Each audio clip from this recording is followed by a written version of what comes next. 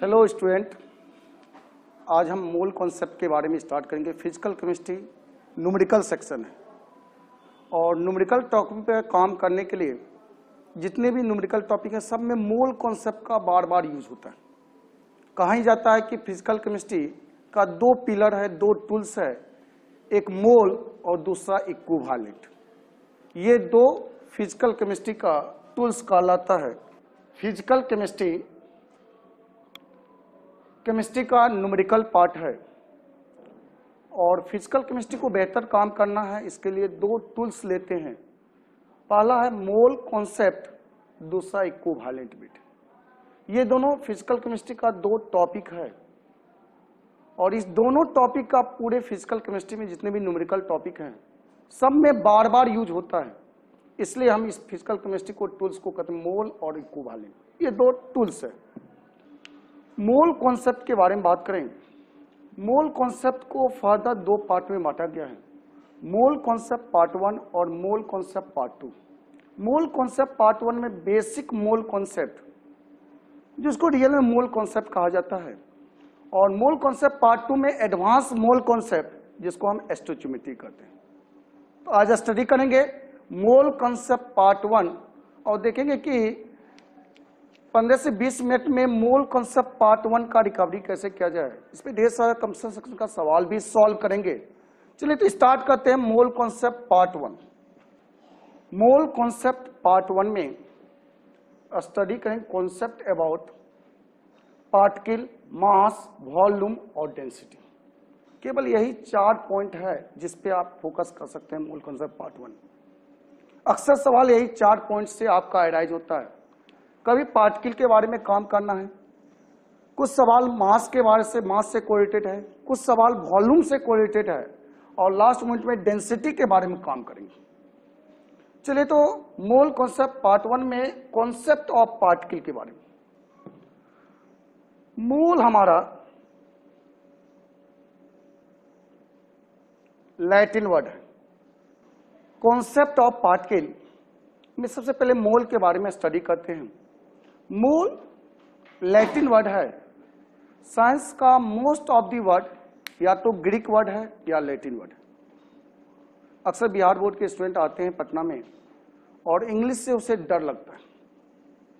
स्वाभाविक है कि इंग्लिश मीडियम में आप वर्क नहीं किए हैं तो डरना लाजमी है लेकिन इतना समझ लीजिए कि किसी भी इंग्लिश टीचर के पास आप स्टडी करके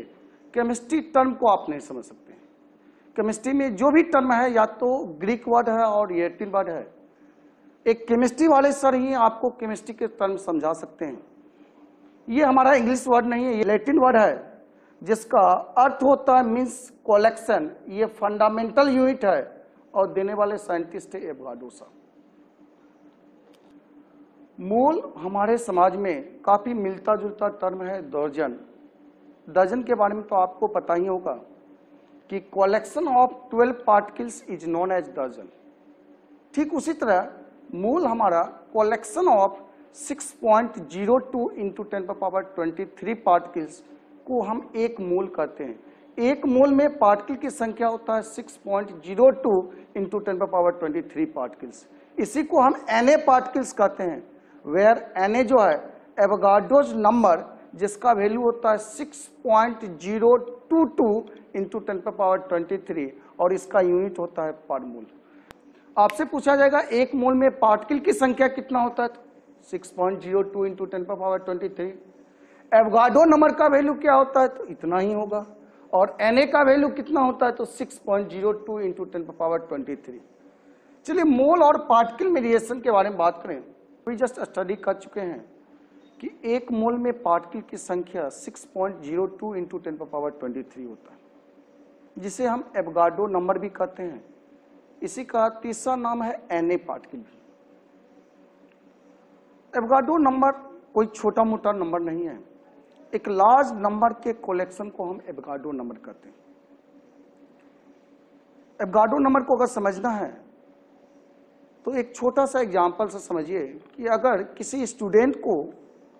एक मोल रुपया दिया जाए उसके अकाउंट में है अगर एक मोल रुपया उसके अकाउंट में है और कंडीशन दिया जाए कि एक सेकेंड में अगर दस लाख रुपया खर्च करना है तब उस स्टूडेंट से पूछा जाए कि कितने साल में वो रुपये को खर्च किया जाएगा आप जानते हैं कि मैथ का जनक जो है वो भारतीय हैं और बिहार के हैं आर्यभट्ट हैं और बड़ी आसानी से जब कैलकुलेट आप कीजिएगा तो लगभग लगभग 20 अरब साल लगेगा यानी 10 लाख रुपया एक सेकेंड में खर्च करने के बावजूद भी उस रुपये को खर्च करने में बारो नंबर रुपीज को खर्च करने में आपको 20 अरब साल लग गए जब से हम होश संभाले हैं तब से काउंटिंग स्टार्ट किए तो 2000 अभी चल रहा है दो हजार अठारह चल रहा है इसका मतलब हजार तक पहुंचे हैं और वहां खर्च करना है तो 20 अरब साल मतलब कई सौ वर्ष आपको जन्म लेना पड़ेगा हजारों वर्ष जन्म लेना पड़ेगा तभी एवगाडो नंबर को आप खर्च कर सकते हैं इतने बड़े नंबर का कलेक्शन एवगाडो नंबर है मूल कंसेप्ट में दो बातों के बारे में डिटेल से स्टडी करना है पहला तो इतने बड़े नंबर का कलेक्शन के पीछे क्या राज है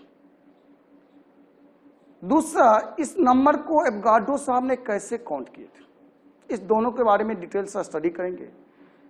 इतना तो पता चल गया कि मोल टर्म जब भी यूज करना है माइक्रो पार्टिकल के लिए क्योंकि मैक्रो पार्टिकल का कलेक्शन पॉसिबल नहीं है इसलिए mole term use for micro particle और माइक्रो पार्टिकल कई होते हैं हमारे समाज में भरे पड़े हैं माइक्रो पार्टिकल माइक्रो पार्टिकल से ज़्यादा डर लगता है with respect to macro particle जिसमें आपका कई माइक्रोपार्टिकल है अलगी हो गया फंजाई हो गया वायरस हो गया बैक्टीरिया हो गया केमिस्ट्री में आते हैं तो electron proton neutron atom molecule ion लेकिन मोल कॉन्सेप्ट में जो बार बार यूज होगा वो है एटम मॉलिक्यूल और आयन का atom use for single element single element के लिए एटम यूज करना है molecule use for more than one element एक से ज्यादा एलिमेंट है तो उसके लिए मोलिकूल यूज करेंगे और ion use for charge species जिसपे प्लस या माइनस चार्ज जैसे आपका सोडियम हो गया जिंक हो गया हीलियम हो गया सिल्वर हो गया गोल्ड हो गया ये सब के लिए एटम टर्म यूज करें क्योंकि ये सब सिंगल एलिमेंट है मोलिकुल के बारे में बात करें तो H2, N2, O2 ये सब पोली एटोमिक एलिमेंट है और इसके लिए मोलिकुल टर्म यूज करते हैं ओ कंपाउंड है इसमें दो एटम है दो टाइप के एटम हैं दो हाइड्रोजन है एक ऑक्सीजन है टोटल एटम की संख्या थ्री है फिर से देख लिया H2O की बात करें H2O में दो टाइप के एटम हैं हाइड्रोजन और ऑक्सीजन जिसमें हाइड्रोजन की संख्या दो है और ऑक्सीजन की संख्या एक है फोर के बारे में बात करें यहां भी दो टाइप के एटम है जिसमें हाइड्रोजन चार और कार्बन एक है Al2SO4 का हॉल थ्री इसमें तीन टाइप के एटम हैं और टोटल एटम की अगर संख्या क्या जाए तो एल्यूमिनियम टू है सल्फर थ्री है और ऑक्सीजन ट्वेल्व है टोटल सेवनटीन एटम्स हैं इस सभी का छोटा कन मोलिकुल होगा और उस मोलिकुल के अंदर एटम कैलकुलेट कर सकते हैं जैसे एल्यूमिनियम सल्फेट के बारे में बात करें एक मोलिकुल में टोटल 17 एटम्स होते हैं आयन के बारे में बात करें ion use for charge species जिसपे प्लस या माइनस चार्ज हो जैसे अमोनियम आयन हो गया एल्युमिनियम थ्री प्लस हो गया कार्बोनेट आयन हो गया CO three minus minus nitrate NO three minus जैसे देखो यहाँ पे अगर काम किए हैं तो यहाँ से कुछ सवाल आता है आपसे पूछा जा रहा है one mole of calcium one mole में पार्टिकल की संख्या six point zero two into ten power twenty three ये तो एक मोल का वैल्यू लिखे अब ये एक मोल किसका है कैल्शियम का है यहां ध्यान से देखिएगा कैल्शियम का एक मोल है और कैल्शियम हमारा सिंगल एलिमेंट है इसके लिए ऑलवेज जब भी यूज करेंगे एटम्स अगर यहां मोलिकुल या आयन लिखेंगे तो वो गलत हुआ जैसे आपका कहा three mole of S two three mole मतलब थ्री इंटू इतना और इतना को तो एन भी कहते हैं थ्री एन अब वाटर है वाटर के लिए यूज करेंगे मोलिकुल्स अगर आपको कहा जाए फाइव मोल ऑफ तो फाइव इंटू एन है और NH4 प्लस है इसके लिए हम यूज करेंगे आयंस यही एटम मॉलिक्यूल्स और आयन को आगे चल के हम कहते हैं पार्टिकल्स इसका मतलब आप पार्टिकल्स कैलकुलेट कर सकते हैं अगर मोल का डाटा दिया है मोल का डाटा दिया था थ्री तो पार्टिकल्स हुआ थ्री एन ए मोल का डाटा दिया है फाइव तो पार्टिकल्स हो गया फाइव एन ए अगर मोल टेन दिया रहेगा तो पार्टिकल्स टेन एन ए होगा अगर मोल एक्स दिया रहेगा तो पार्टिकल्स एक्स एन ए होगा तो यहां से हम कह सकते हैं number of particles number of particles is equal to mole into N A mole में एन ए से गुना करेंगे पार्टिकल्स निकल जाएगा अगर मोल निकालना है तो कहेंगे number of particles number of particles by N A इसका मतलब मोल का पहला फार्मूला आया number of particles by N इसी पे कुछ सवाल देखते हैं कम्सन सेक्शन का नीट 2011 में सवाल पूछा गया था find the number of atoms in 0.1 mole of a triatomic gas triatomic gas मतलब तीन एटम से बना हुआ गैस है चलिए इसको सॉल्व करते हैं सॉल्यूशन या देखिए आपको दिया हुआ है ट्रा atomic gas triatomic gas मान लेते हैं एक्स थ्री मतलब तीन एटम से बना हुआ गैस है इसकी मोल की संख्या दिया है मोल आपका जीरो पॉइंट वन अब ट्रा एटोमिक गैस आपका पोली एटोमिक है तीन एटम से बना हुआ ये गैस है इसके लिए मोलिकुल टर्म यूज करेंगे मोल से पहले मोलिकुल्स निकालेंगे और मोलिकुल से एटम्स निकालेंगे क्योंकि इसके लिए छोटा कण आपका मोलिकुल्स आएगा मोल आपका दिया है 0.1 और मोल में एन से गुना करते हैं मोलिकुल्स निकल के आता है यानी 0.1 पॉइंट एन ए मोलिकुल्स होगा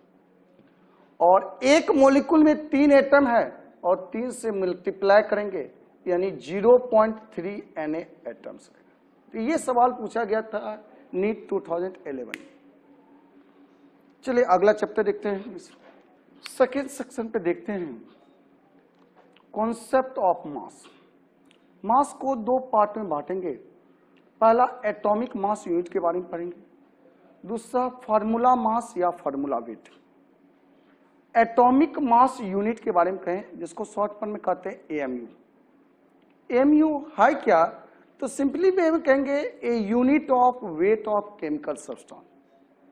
chemical substance के वजन का यूनिट होता है एएमयू ऐसे तो मास का कई यूनिट होता है कहीं ग्राम कहीं केजी कहीं टन कहीं मन कहीं कुंटल कहीं कैरेट से भी यूज करते हैं सब्जी दुकान में जाते हैं आप सब्जी खरीदते हैं केजी के हिसाब से आप बता पूछते हैं रेट और सोने दुकान में जाते हैं तो कैसे कैरेट सोना है वहां के एक्सप्रेस नहीं करते चावल अगर दुकान है किराना दुकान में चावल लेते हैं तो केजी के हिसाब से लेते हैं और घर में अगर चावल का पैदावार होता है तो उसे मन या टन में एक्सप्रेस करते हैं यानी लिटिल अमाउंट के लिए कुछ अलग यूनिट है और एक्सेस अमाउंट के लिए कुछ अदर यूनिट लेते हैं ठीक उसी तरह केमिकल सब्सटेंस का अगर वजन किया है तो उसका भी कुछ ना कुछ यूनिट लेना है तो उसी यूनिट को कहते हैं atomic mass unit atomic mass unit real में कार्बन के एक एटम के बारहवें भाग का जो वजन है कार्बन के एक एटम के बारहवें भाग का जो वजन होता है उसी को हम कहते हैं A M U atomic mass unit one M U बनाओ one by twelve C twelve इसी को कहते हैं one point six six into ten power minus twenty four gram ten power minus twenty four gram या one by N A gram यानी one M U बराबर होगा one by N A gram अगर three M U है तो three by N gram अगर आपसे पूछा जाए फाइव एम यू बराबर तो फाइव बाय एन ग्राम अगर गलती से कह देंगे फाइव ग्राम बराबर कितना एम यू होगा तो ये एन को इधर ले जाएंगे यानी five into N M U यानी ओवरऑल ग्राम से से हम एएमयू निकालेंगे तो ए से मल्टीप्लाई करेंगे फाइव ग्राम दिया था एमयू निकालना है एनए से गुना किए और एमयू से अगर ग्राम निकालना है तो एनए से डिवाइडेड करेंगे ठीक उसी तरह मोल से आपको पार्टिकल निकालना है मोल से पार्टिकल मल्टीप्लाई करना है एनए से और पार्टिकल से मोल निकालना है एनए से डिवाइडेड करना एएमयू का वैल्यू जो है one by N A gram होता है एएमयू का value one by N A gram होता है एवगाडो साहब ने जो काम किए थे मोल के बारे में वो मास से कोरेटेड किए थे मोल को और वन बाय एन ए का वैल्यू वन एम यू और वन एम यू का वैल्यू करते हैं वन पॉइंट सिक्स सिक्स गुना ten power minus twenty four gram note करके ध्यान रखना if Avogadro number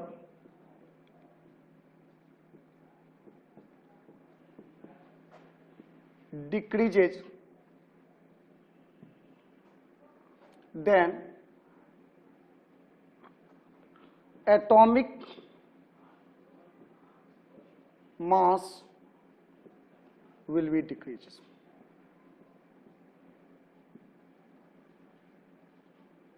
अगर एवगाडो नंबर को डिक्रीज किया गया तो उसका एटॉमिक मास भी डिक्रीज करेगा जैसे एक छोटा सा एग्जांपल लेते हैं कि कार्बन का एटॉमिक मास आपका 12 है ये जानते हैं एवगाडो नंबर उस केस में यदि कार्बन का जैसा कि आप जानते हैं नोन है कार्बन का एटॉमिक मास अगर 12 है तो उस केस में एफगार्डो number 6.02 point zero two into ten power twenty होता है अब कार्बन का एवगाडो नंबर को हम जस्ट दुगुना कर दिए अगर एवगाडो नंबर एन का value 12.04 point zero four into ten पर पावर ट्वेंटी थ्री किए इसका मतलब एवगाडो नंबर को दुगुना करें तो मास विल भी क्या होगा जस्ट डबल हो जाएगा क्योंकि एवगाडो नंबर डिक्रीज करने पे एटॉमिक मास डिक्रीज करता है और एवगाडो नंबर इंक्रीज करने से एटॉमिक मास इंक्रीज करता है एवगाडो नंबर दुगुना हो गया इसका एटॉमिक मास भी क्या हो जाएगा दुगुना हो जाएगा second note one M U is equal to one by twelve C twelve है अगर वन एम यू बराबर one by six C twelve लिखते हैं इसका मतलब जस्ट इसको हम दुगुना कर रहे हैं ये आपका टू से मल्टीप्लाई एमयू की वैल्यू में अगर टू से मल्टीप्लाई कर रहे हैं तो उसके एटॉमिक मास में हाफ से डिक्रीजमेंट हुआ एटॉमिक मास आपका डिक्रीजेज बाय क्योंकि यहां टू से आपका इंक्रीजमेंट हो रहा है तो इसके मास को क्या करेंगे दो से डिक्रीज करेंगे फॉर्मूला वेट या फॉर्मूला मास फॉर्मूला वेट या फॉर्मूला मास में तीन आता है एटॉमिक मास मोलिकुलर मास और ionic mass atomic mass means होता है mass of one atom in U molecular mass means होता है mass of one molecule in M U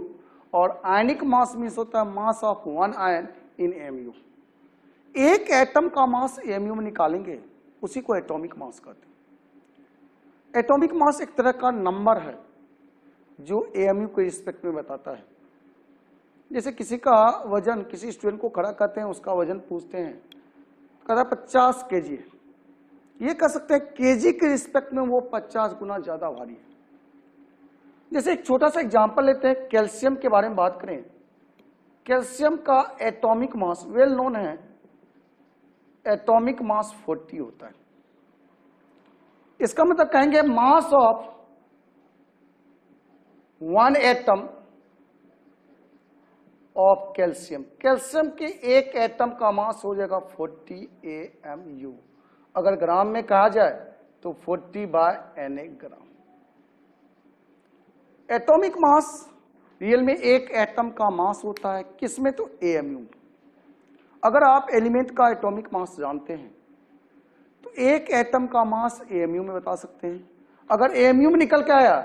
N A से डिवाइडेड करेंगे तो ग्राम में निकल जाएगा एटॉमिक मास कुछ एलिमेंट का ट्रिक है और कुछ एलिमेंट का याद रखना एक से बीस तक एटॉमिक नंबर बार बार यूज होते हैं इसलिए एक से बीस तक का एटॉमिक वेट निकालने का ट्रिक है अगर एटॉमिक नंबर इवन है तो दो से मल्टीप्लाई कीजिए और एटॉमिक नंबर अगर ओड है तो दो से मल्टीप्लाई करके एक जोड़ना ये ट्रिक है जिसमें कुछ एलिमेंट आपका वैलिड नहीं होता वन टू ट्वेंटी में जैसे नाइट्रोजन का एटॉमिक नंबर सेवन होता है atomic weight twenty sorry atomic weight fourteen होता है क्लोरीन के बारे में बात करें एटॉमिक नंबर सेवनटीन और एटॉमिक वेट जो है थर्टी फाइव पॉइंट फाइव होता है तो ये वैलिड नहीं होता बाकी सबके लिए तो वन टू ट्वेंटी बार बार यूज होता है मोलिकुलर वेट के बारे में बात करें mass mass of one molecule in M U जैसे एक एग्जांपल में लेते हैं एस टू का मोलिकुलर वेट अगर निकालते हैं हाइड्रोजन का एटॉमिक वेट वन होता है दो हाइड्रोजन है इसका एटॉमिक वेट टू हो जाएगा ऑक्सीजन का एटॉमिक वेट सिक्सटीन दोनों को जोड़ो तो ये एटीन आएगा इसका मतलब मास ऑफ वन मोलिकुल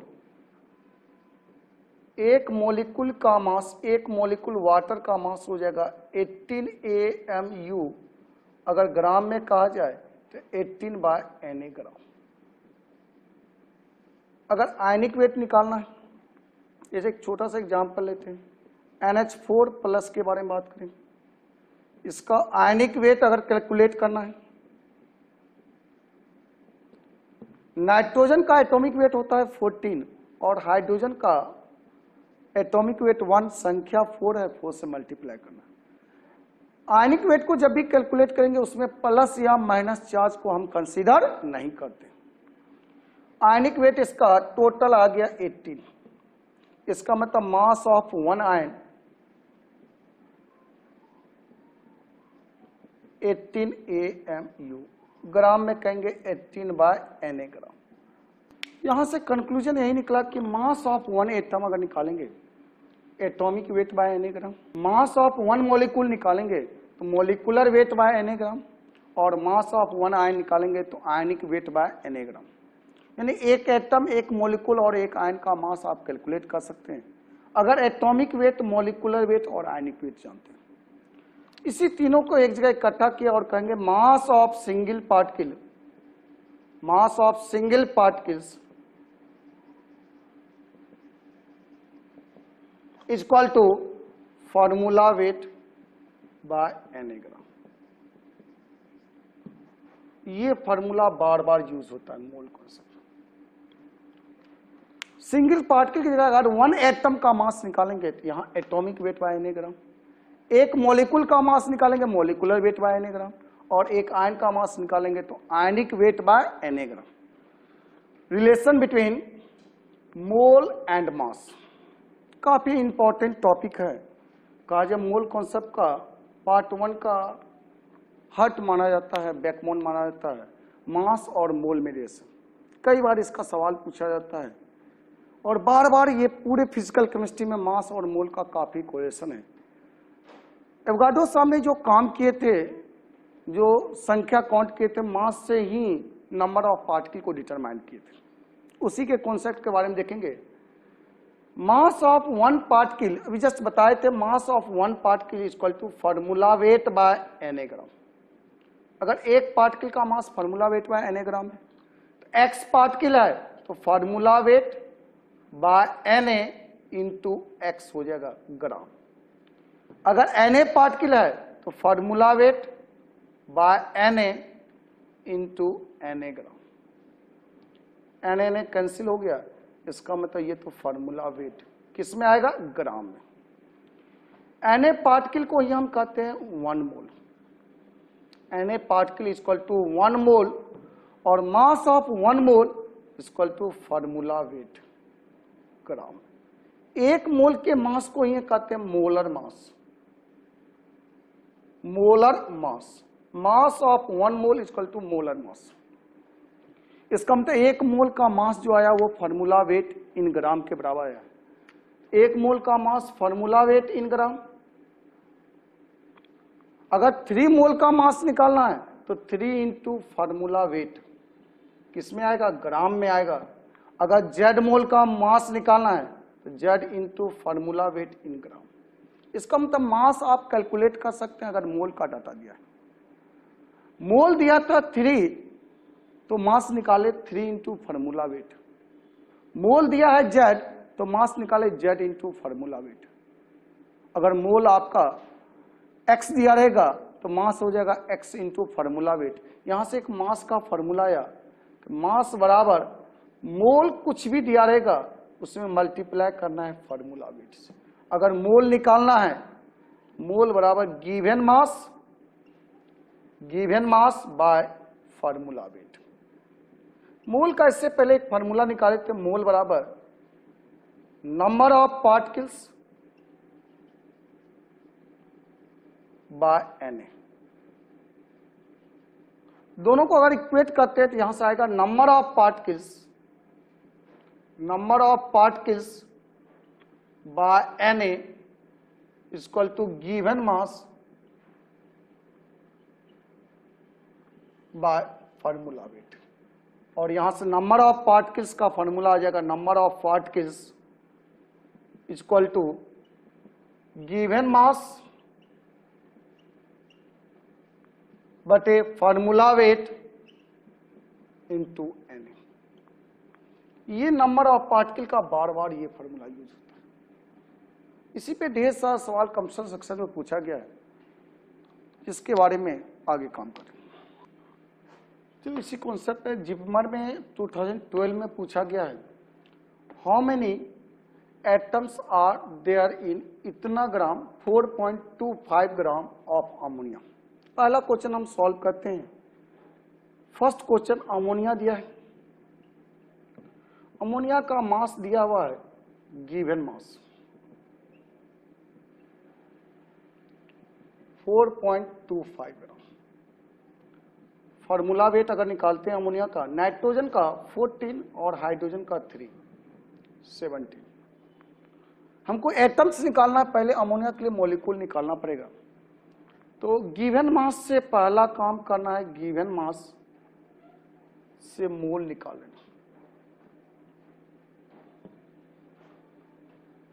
और मोल से मॉलिक्यूल्स निकालेंगे और मोलिकुल से फर्दर एटम्स निकालेंगे गिवन मास से मोल निकालना डिवाइडेड करेंगे फॉर्मूला वेट से इसका मास तो दिया हुआ है आपको 4.25 यानी मोल हो जाएगा 4.25 और फॉर्मूला वेट 70 ये तो 1 बाय फोर आ रहा है अब मोल से मॉलिक्यूल निकालना है तो एन से मल्टीप्लाई करते हैं इसका मतलब one by four into N और एक मॉलिक्यूल में तीन हाइड्रोजन है एक नाइट्रोजन है टोटल एटम फोर है तो फोर से मल्टीप्लाई करेंगे इसका मतलब एटम की संख्या हो जाएगा एन ये तो पहला क्वेश्चन सॉल्व सेकेंड क्वेश्चन आपका कर रहा है कि the ratio of mass of oxygen and nitrogen particular gases mixture is one is to four कोई गैसेस मिक्सचर है जिसमें ऑक्सीजन और नाइट्रोजन का मास रेशियो दिया है वन इज टू फोर तो find the ratio of their number of molecules oxygen और nitrogen के मास का रेशियो दिया है वन इज टू फोर मान लेते हैं अगर ऑक्सीजन का मास एक्स है नाइट्रोजन का मास फोर एक्स है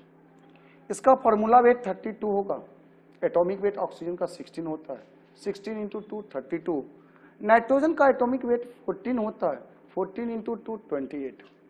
अब यहां से दोनों का मोलिकुल्स निकालते हैं मोलिकुल्स का फॉर्मूला होता है number of given mass by formula weight into N यहां भी given mass 4x formula weight 28 eight गुना एन दोनों की मोलिकुल की संख्या जब निकल गया तो रेशियो पूछा है मोलिकुल ऑफ O2 बटे molecule of N2 O2 to का मास आपका मोलिकुल निकाल चुके हैं और एन टू का मोलिकुल निकाल चुके हैं इसको पुटिंग एटिंग करेंगे तो यहाँ पे आपका सेवन बाय थर्टी टू आता है तीसरा क्वेश्चन तीसरा क्वेश्चन जो नीट में पूछा गया था दो एलिमेंट है एक्स एंड वाई जो कि कंबाइंड करके कंपाउंड बनाता है पहला कंपाउंड एक्स वाई टू और दूसरा कंपाउंड बना रहा है एक्स थ्री वाई टू इसका मोल दिया हुआ है एक्स वाई टू का मोल दिया है जीरो पॉइंट वन और इसका वेट दिया है मास दे दिया इसका टेन ग्राम जबकि आपका एक्स थ्री वाई टू का मोल दिया हुआ है जीरो पॉइंट जीरो फाइव और मास इसका आपका नाइन ग्राम एटॉमिक वेट निकालना है एक्स और वाई का मान लेते हैं फार्मूला वेट यहां से निकालेंगे इसी एक्स और वाई का एटॉमिक वेट निकालना है इसका एटॉमिक वेट एक्स के फॉर्म में रखते हैं और ये टू वाई हो जाएगा इसका फार्मूला वेट थ्री एक्स है three X plus two Y अब आपको मोल और मास का दिया है डाटा यहां से दो इक्वेशन लाएंगे मोल का तो फॉर्मूला आप जानते हैं गिवन मास बटे फॉर्मूला वेट मोल आपका 0.1 given mass 10 formula weight x plus two Y यहां से x plus two Y equal to hundred हो जाएगा क्योंकि ये पॉइंट हटाएंगे नीचे 10 जाएगा ये मल्टीप्लाई होगा हंड्रेड इसको इक्वेशन फर्स्ट मान फिर इसमें काम करेंगे मोल का फॉर्मूला यहां भी वही होगा गिवन मास बटे formula weight given mass mole दिया हुआ आपको 0.05 given mass 9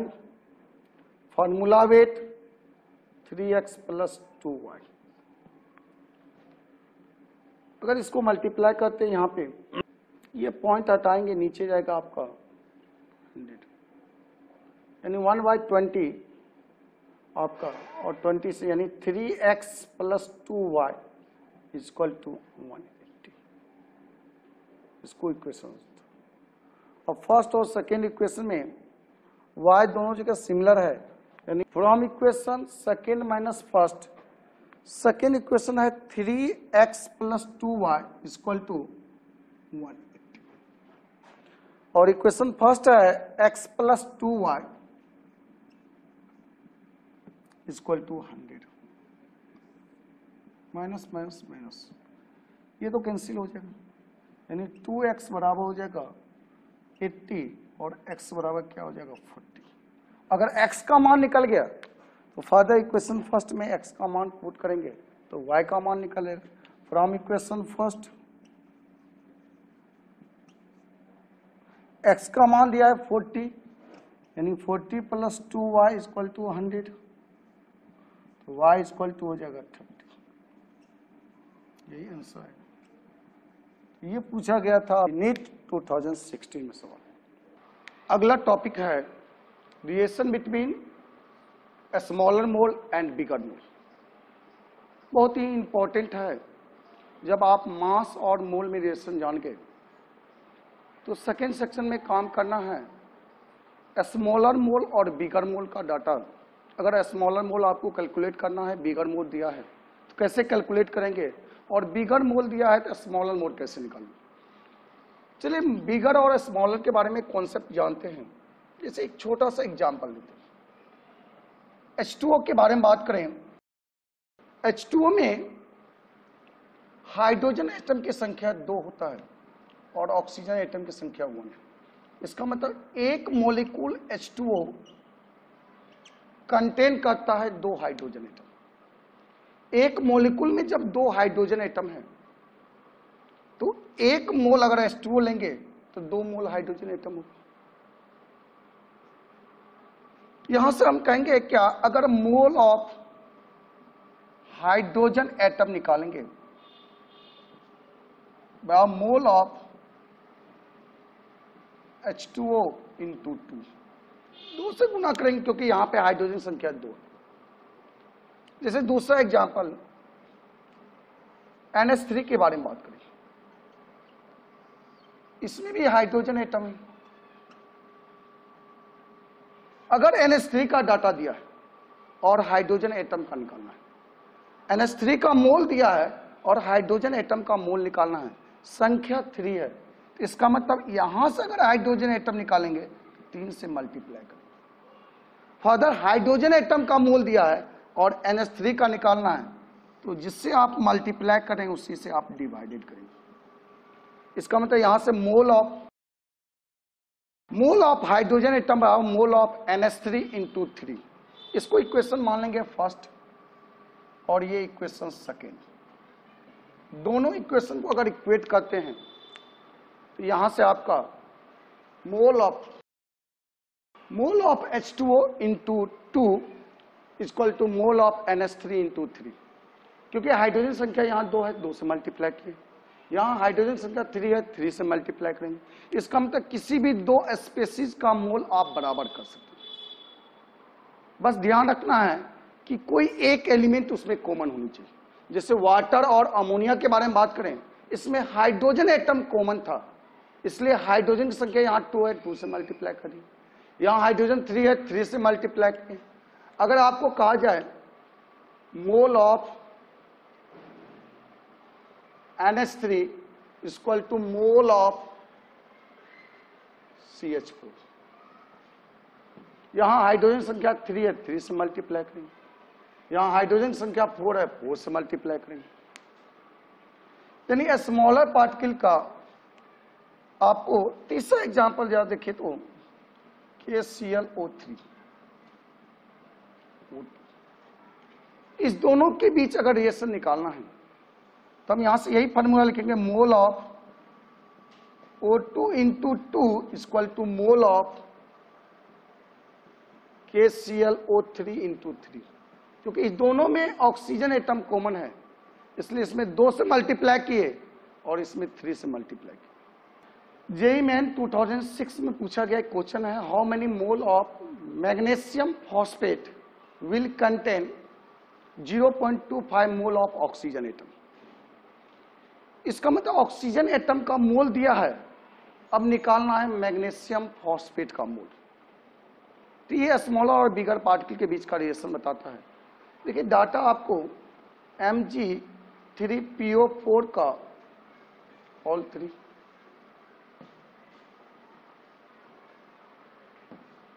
ऑक्सीजन एटम का मोल दिया है 0.25 इसका मोल निकालना है अब ऑक्सीजन की संख्या यहां 12 है इसका मतलब अगर इसका डाटा दिया रहता है इसका डाटा निकालना होता है तो 12 से मल्टीप्लाई करें और फर्दर अगर ऑक्सीजन एटम का डाटा दिया है इसका डाटा निकालना है तो डिवाइडेड करना है 12 से यानी हम यहां से फॉर्मूला लिखेंगे mole of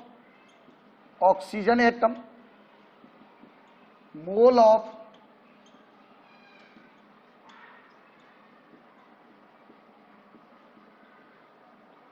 oxygen की संख्या 12 है 12 से मल्टीप्लाई करना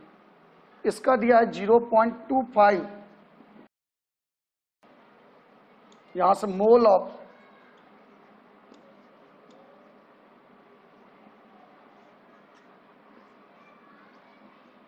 ट्वेल्व इधर जाएगा डिवाइडेड होगा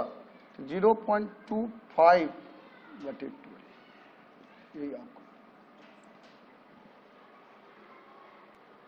कॉन्सेप्ट ऑफ वॉल्यूम दो कॉन्सेप्ट आता है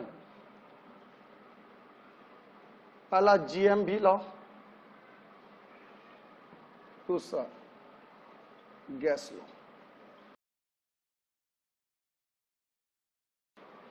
gram molecule volume law जिसको जीएमवी लॉ कहते हैं यूज फॉर गैस है एट एसटीपी और एनटीपी एसटीपी और एनटीपी दोनों सेम होता है टेम्परेचर के बारे में बात करें temperature zero degree C 273 seventy three kelvin pressure आपका 1 एटीएम ये टर्म हमारा या तो एसटीपी कहलाता है या इसी को और क्या कहते हैं एनटीपी फुल फॉर्म होता है स्टैंडर्ड टेम्परेचर प्रेशर या normal temperature pressure standard temperature हमारा जीरो डिग्री सी है यानी 273 केल्विन है प्रेशर के बारे में बात करें तो 1 ATM 1 ATM that means atmospheric pressure Avogadro साहब ने जीएमबी लॉ दिया था हाइपोथेटिकल लॉ था उन्होंने कहा था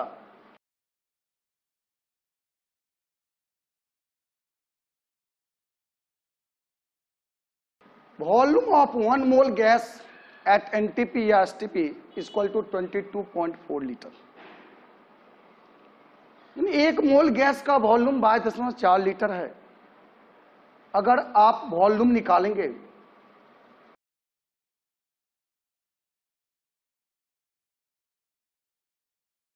volume of 3 mole gas 3 into twenty litre अगर x मोल का वॉल्यूम निकालते हैं तो x into twenty two point four litre volume of gas at NTP equal to mole into twenty two point four यहां से मोल का formula आएगा given volume litre में एट NTP या टू पॉइंट 22.4 तो मोल का ओवरऑल तीन formula होता है number of particle by N given mass by formula weight और तीसरा फार्मूला या वॉल्यूम गैस का at NTP by 22.4 litre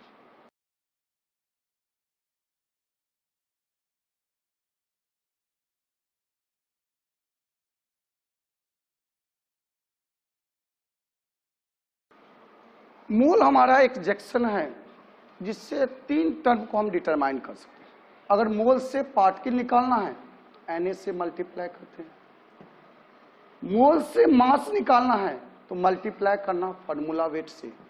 mole से वॉल्यूम निकालना है तो मल्टीप्लाई करेंगे 22.4 से इसका मतलब मोल से कोई भी डाटा निकालते हैं तो मल्टीप्लाई किया जाता है और किसी भी डाटा से अगर मोल पे आना है तो डिवाइडेड करेंगे जैसे आपका पार्टिकल से मोल पे आना है डिवाइडेड करना है एन से आपका गिवन मास से मोल पे आना है तो डिवाइडेड करना है फॉर्मूला वेट से और आपका वॉल्यूम से अगर मोल पे आना है तो डिवाइडेड करते हैं 22.4 से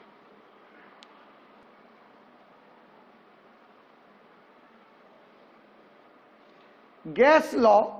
जिसमें आता है गैस लॉ में एक इक्वेशन दिया गया था PV is equal to N R T यहां एन मोल को इंडिकेट करता है मोल जिसको एन से रिप्रेजेंट करते हैं PV by R T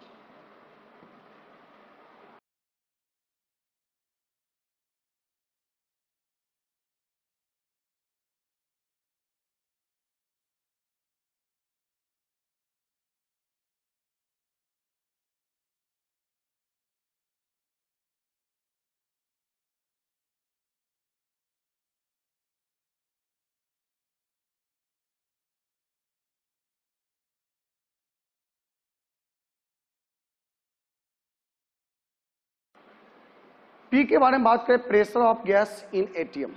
जब भी ये लॉ में आप इक्वेशन में फॉर्मूला यूज करेंगे तो प्रेशर को जब भी रखना है एटीएम में अगर सेंटीमीटर का डाटा दिया रहे तो 76 से डिवाइड करते हैं तो एटीएम निकल के आता है एमएम का डाटा दिया रहेगा तो 760 से डिवाइडेड करेंगे तो वहां से एटीएम निकलेगा प्रेशर को जब भी रखना है एटीएम में रखना है वॉल्यूम को लीटर में रखना है और वन मीटर क्यू बराबर होता है वन थाउजेंड डीएम क्यू बराबर one thousand litre one centimetre cube बराबर वन सीसी बराबर वन एम होता है और हमारा गैस कांस्टेंट है यूनिवर्सल गैस कांस्टेंट कहलाता है जिसका वैल्यू होता है zero point zero eight two M litre पर मोल पर केल्विन टी हमारा टेम्परेचर है इन केल्विन और टेम्परेचर को अगर केल्विन में लिखना है तो डिग्री सेल्सियस में डी प्लस कर देना है टू सेवेंटी थ्री केल्विन आदि गैस लॉ के बारे में आगे डिटेल से स्टडी करना है गैसेस चैप्टर में तो। यहाँ पर ढेर सारी बातें करेंगे लेकिन मोल कॉन्सेप्ट में कुछ गैस लॉ का प्रॉब्लम दिया गया है इसलिए ये फॉर्मूला मोल का चौथा फॉर्मूला है मोल बराबर P V by R T यानी अगर एसटीपी और एनटीपी पर डाटा नहीं दिया रहे सवाल में अगर एसटीपी और एनटीपी का जिक्र नहीं किया रहे प्रेशर और टेम्परेचर का मान दिया रहे तब मोल का ये फॉर्मूला यूज करेंगे PV by RT.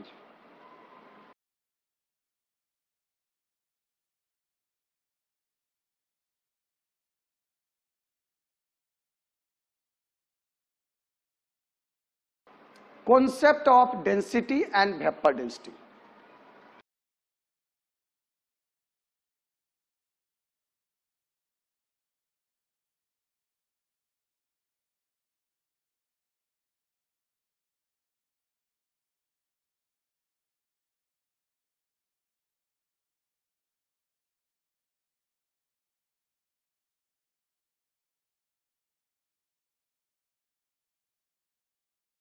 Density के बारे में पहले से आप जानते हैं घनत्व का नाइन्थ टेंथ में भी स्टडी किए होंगे डेंसिटी के बारे में कहेंगे mass occupy by body in per unit volume इकाई वॉल्यूम में जो मास अक्यूपाई किया जाता है बॉडी के द्वारा वही हमारा डेंसिटी है और डेंसिटी यूज करते हैं सॉलिड लिक्विड और गैस के लिए डेंसिटी का फॉर्मूला होता है mass by volume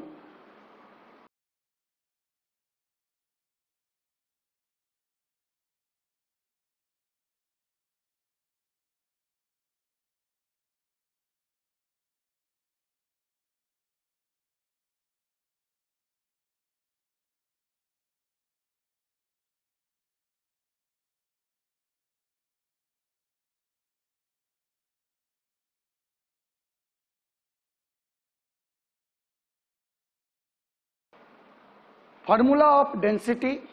at S या एन मोल का फार्मूला जानते हैं given mass by formula weight यहां से मास अगर निकालना है तो मोल में मल्टीप्लाई करेंगे किससे फॉर्मूला वेट से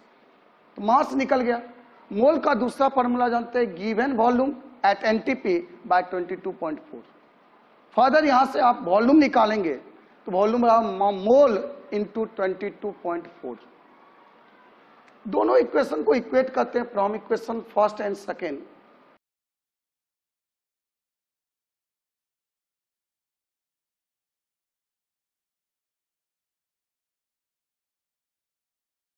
mole mole cancel होगा ये तो हमारा डेंसिटी कहलाता है डेंसिटी बराबर आ गया फॉर्मूला वेट बाय 22.4 इसका यूनिट होगा ग्राम पर लीटर ये डेंसिटी टर्म जो यूज करेंगे यूज फॉर गैस इसका मतलब गैस का आप डेंसिटी निकाल सकते हैं अगर आप फार्मूला वेट जानते हैं किसी भी गैस का एसटीपी और एनटीपी पे डेंसिटी कैलकुलेट कर सकते हैं यदि हमें फार्मूला वेट क्या आते हैं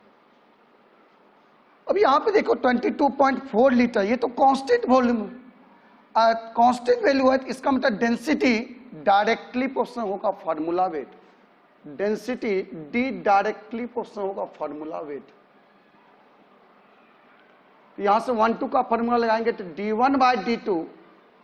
बराबर हो जाएगा फॉर्मूला वेट को एम से मान लेते हैं M one by M two यानी डेंसिटी का रेशियो और मोलिकुलर वेट का रेशियो बराबर होता है एक और आप जानते हैं मोल का ratio equal to volume ratio equal to particle ratio but not equal to mass ratio mole ratio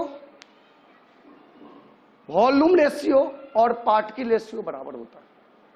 क्योंकि मोल का फॉर्मूला होता है गिवन वॉल्यूम बाय 22.4 इसका मतलब ये तो कांस्टेंट है मोल डायरेक्टली क्वेश्चन होगा वॉल्यूम इसका मतलब मोल रेशियो वॉल्यूम रेशियो और पार्टिकल रेशियो बराबर होता है लेकिन मास रेशियो कभी बराबर नहीं होता है तो ये ध्यान रखना डेंसिटी का रेशियो और मोलिकुलर वेट का रेशियो क्या होता है ऑलवेज बराबर होता है वेपर डेंसिटी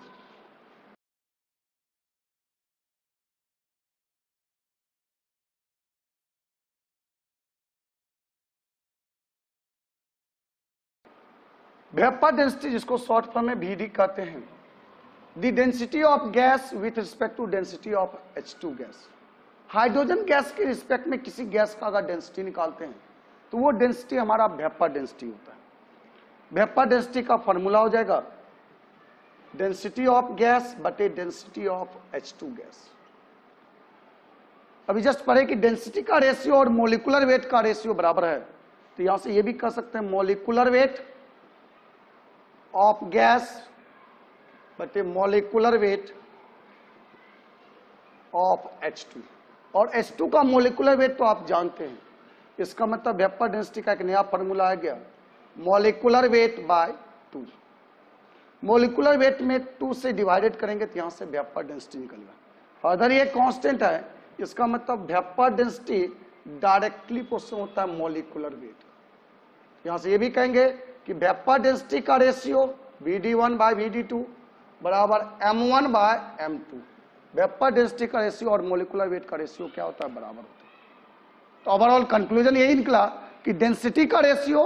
वेपर डेंसिटी का रेशियो और मोलिकुलर वेट का रेशियो बराबर होता है मोल का रेशियो वॉल्यूम का रेशियो और पार्टिकल का रेशियो बराबर होता है चलिए इसी में सवाल देखते हैं चलिए सवाल में आपका चार सवाल लेके आए हैं डेंसिटी भेप्पा डेंसिटी और कॉन्सेप्ट ऑफ वॉल्यूम पे चलिए पहला सवाल करें कि find the volume of two mole of hydrogen gas hydrogen atom at STP दो मोल हाइड्रोजन एटम दिया है एसटीपी पे और उसका वॉल्यूम निकालना तो देखो सॉल्यूशन के बारे में बात करें आपको हाइड्रोजन एटम दिया है और इसका मोल दिया है आपको टू मोल सबसे पहला काम करना एच टू गैस का मोल निकालना हाइड्रोजन एटम का अगर मोल दिया है एच टू का मोल निकालना है फिर वही कॉन्सेप्ट है स्मॉलर और बिगर पार्ट का अगर इससे ये निकालना होगा संख्या इसमें दो है दो से मल्टीप्लाई करेंगे लेकिन हाइड्रोजन एटम ये स्मॉलर है और स्मॉलर से अगर बिगर निकालते हैं तो डिवाइडेड करते हैं और बिगर से अगर स्मॉलर को कैलकुलेट करते हैं तो मल्टीप्लाई किया जाता है तो ये ऑलवेज ध्यान रखना है कि स्मॉलर से अगर बिगर को कैलकुलेट करना है जैसे ये हाइड्रोजन एटम का दिया है मोल और हमें H2 का मोल निकालना है H2 बिगर पार्टिकल है और हाइड्रोजन एटम स्मॉलर पार्टिकल है तो स्मॉलर से अगर बिगर पार्टिकल निकालना हो तो डिवाइडेड किया जाता है और बिगर पार्टिकल से स्मॉलर पार्टिकल निकालना हो तो मल्टीप्लाई करते हैं इसका मतलब डिवाइडेड करेंगे टू से तो यहां से इसका मोल आ जाएगा टू बाई टू वन अब एक मोल अगर हाइड्रोजन गैस है तो उसका वॉल्यूम कितना हो जाएगा तो volume of H two gas 22.4 second question है कि दी वेट ऑफ इतना M L three fifty M L of a diatomic gas at, S, at 0 degree C and 2 atm pressure is 1 gram. दिया हुआ है वॉल्यूम दिया है temperature दिया है प्रेशर दिया और वेट दिया तब आपको कह रहा है find the weight of one atom एक एटम का वजन निकालना सबसे पहला काम करना है जो डाटा दिया गया है इस डाटा की मदद से मोलिकुलर वेट निकालेंगे मोलिकुलर वेट इसलिए के क्योंकि डाएटोमिक गैस है डाएटोमिक गैस है दो एटम से बना हुआ गैस है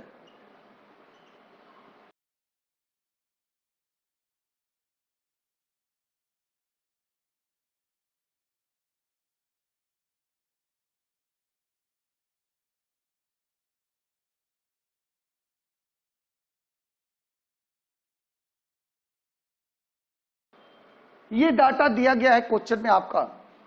टेम्परेचर जीरो डिग्री सी अगर टेम्परेचर जीरो डिग्री से है तो आर इंटू टी का मान होता है ट्वेंटी टू पॉइंट फोर अगर टेम्परेचर ट्वेंटी फाइव डिग्री से रहेगा तो आर इंटू टी का मान होगा ट्वेंटी फोर पॉइंट फोर और ट्वेंटी सेवन डिग्री सी पे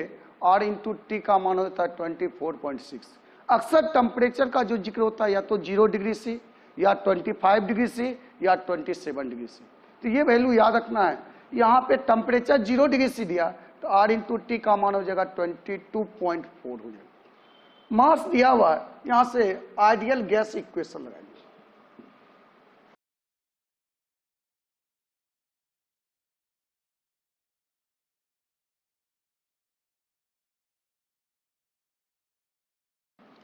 मोलिकुलर वेट का फॉर्मूला हो जाएगा W R T by PV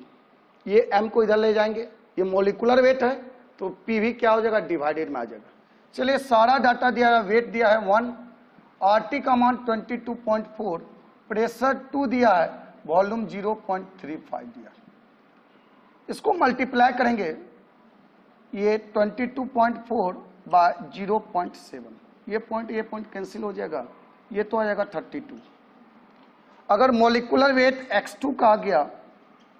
diatomic है मान लेते हैं एक्स टू कोई डायटोमिक है इसका मोलिकुलर वेट थर्टी टू इसका मतलब एटॉमिक वेट ऑफ एक्स का हो जाएगा 16 और mass of one atom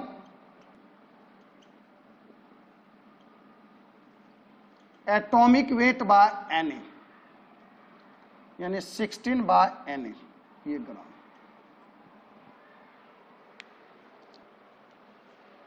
तीसरा क्वेश्चन दिया है find the mass of one mole of gas of density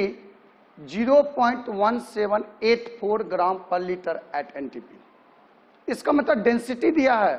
और एक मोल का मास निकालना है ऑलवेज याद रखें एक मोल का मास अगर निकालते हैं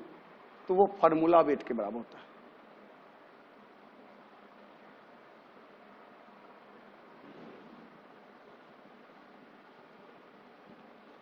डेंसिटी का फार्मूला आप जानते हैं एस या एनटीपी पे फॉर्मूला वेट बाय 22.4 यहां से हम मोलिकुलर वेट निकालेंगे डेंसिटी हमें दिया गया है 0.1784 इंटू लगभग फोर के आसपास है चौथा और लास्ट क्वेश्चन है डेंसिटी ऑफ एयर एयर का डेंसिटी दिया हुआ है find the vapour density air का वेपर डेंसिटी निकालना है इसका मतलब वेपर डेंसिटी का अभी जस्ट फार्मूला पर है मॉलिकुलर वेट बाय टू और एयर का मॉलिकुलर वेट ये याद रखना है एवरेज मॉलिकुलर वेट होता है 28.8 इसका मतलब यहां डेंसिटी टर्म का यूज नहीं करेंगे क्योंकि हाइड्रोजन गैस का डेंसिटी नहीं दिया है वेपर डेंसिटी का दो फार्मूला है density of gas by density of S two gas और दूसरा फार्मूला है मोलिकुलर वेट बाई टू क्योंकि यहाँ एयर का डेंसिटी तो दिया हुआ है लेकिन हाइड्रोजन गैस का डेंसिटी दिया हुआ है इसलिए दूसरा फार्मूला यूज करेंगे और मोलिकुलर वेट एयर का फिक्स होता है ये 28.8 होता है यहाँ से वेपर डेंसिटी कैलकुलेट करेंगे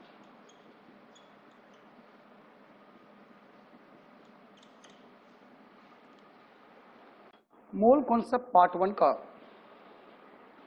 सेक्शन ए समाप्त होता है ये वीडियो अगर आपको अच्छा लगा हो तो लाइक करें